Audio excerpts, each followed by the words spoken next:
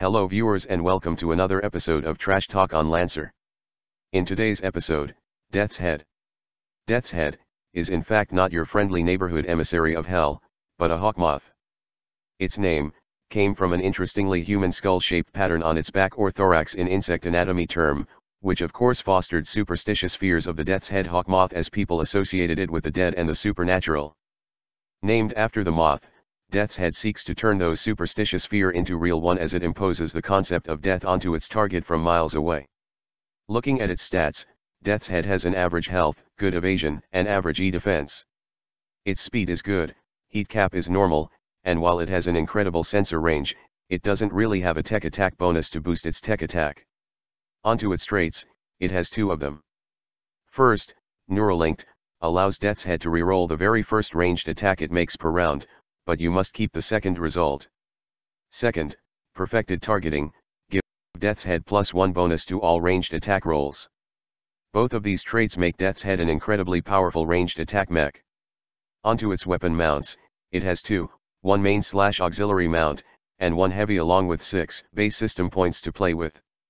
As for its core power, Death's Head can activate neural shunt within its precognitive targeting.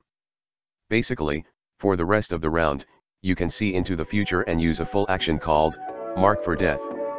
To use it, choose a target within range 30 but not range 5 of you. After choosing a target, you will be concentrating on it, causing you to be immobilized and unable to make any reaction.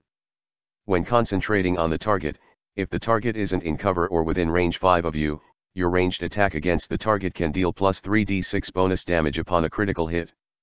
You may stop concentrating as a protocol at the start of any of your turns. However, do note that you may only concentrate on one target at once. With this core power, Death's Head is designed to deal high amount of damage onto a single target repeatedly. However, you should learn to pick your target wisely as this core power requires more fitness than most. Onto the rest of the license, you get high stress mag clamp and tracking drone in the first section. High stress mag clamp, allows you to truly become emissary of hell by letting you move on walls and overhanging surfaces. Essentially, you treat moving on walls and overhanging surfaces as flat ground, no longer counts as climbing on these surfaces and can move at normal speed. However, if you get knocked prone, you will fall.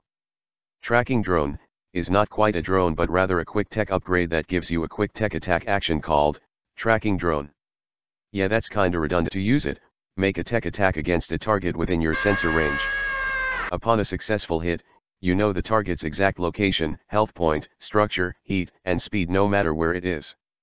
It also cannot hide, and even invisibility cannot save itself from your attack as you could completely ignore that.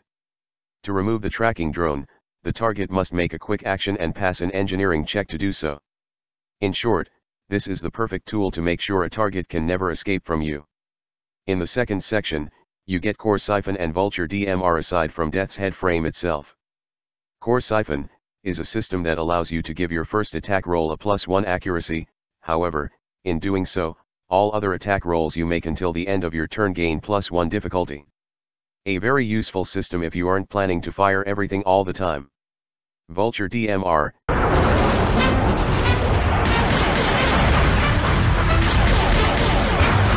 is a long-range main rifle. Excellent range, good damage, accurate and overkill for higher chance of more average damage. However, it does produce a single heat upon firing, so that's a bit annoying. In the final section, you get kinetic compensator and railgun.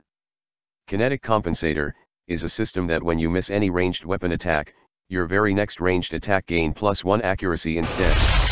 A good system to have if you don't like missing. And finally, railgun.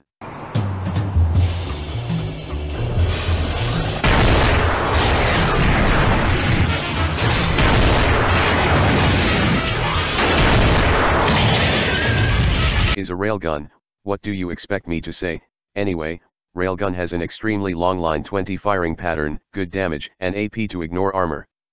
However, it has ordnance tag so it's not as tactically flexible as most would want and that line 20 can basically be treated as range 20 due to this. However, it's still a very good long-range heavy weapon. As a conclusion, Death's Head is a mech platform made to provide long-range fire support against far targets.